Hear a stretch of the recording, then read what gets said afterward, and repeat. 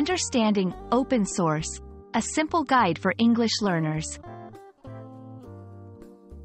Hello and welcome to our English learning channel. Today, we're going to explore a very interesting and modern phrase, open source. This term is widely used in technology and software, but what does it really mean? Let's dive in and find out together.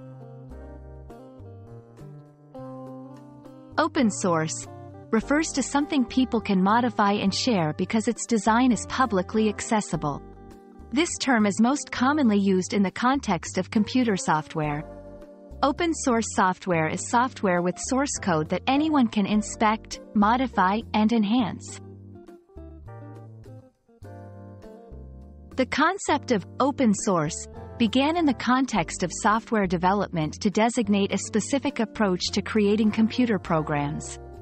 It emerged in the late 1990s from a long-standing culture of programming enthusiasts who believed software should be free and accessible to all. Open source allows programmers to collaborate on software projects, enhancing and improving the software at a much faster rate than if one person or company were working on it alone. It's important because it promotes a free exchange of ideas within a community to drive creative, scientific, and technological advancement. Some well-known open-source software includes the Linux operating system, the Apache web server, and the Mozilla Firefox browser. Each of these allows users to view, modify, and distribute their code freely. In contrast to open source, proprietary software is owned by an individual or company.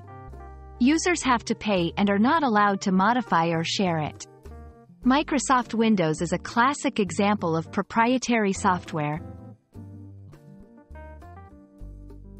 I hope this video has helped you understand what open source means and why it's a significant term, especially in the world of technology.